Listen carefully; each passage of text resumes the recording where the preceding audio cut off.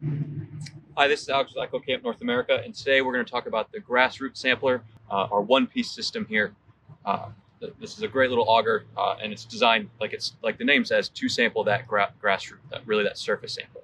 So what's kind of different about it is it here has these cutting teeth that are designed to cut through that top layer uh, very well. It's not really designed to go very deep. You're looking at those top couple of inches, and it has a very large uh, diameter for a pretty large uh, undisturbed sample. What's cool about it is since you're sampling that kind of tough surface, it also has that extrusion tool, which naturally comes up as you're inserted into the subsurface. And then when you go to uh, push your sample back out, you can just push it out and you're gonna get that uniform, uh, undisturbed sample. Whether you're looking at your grass roots or you wanna look at fertilization, it's really a neat little tool. And next we'll get into it. We'll actually insert it and then show you what happens when we try and pull a sandy soil sample out of Wilmington.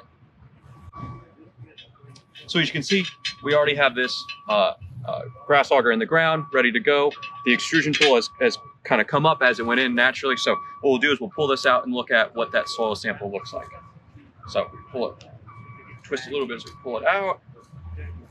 You can see we have a pretty good hole size there. We have our sample in here. And what we're gonna do is we're gonna slowly press it out uh, to get our sample. So there, just like that, we can see what our roots look like on the Wilmington with the very sandy soil, but uh, we were able to push out our sample and have a pretty undisturbed sample.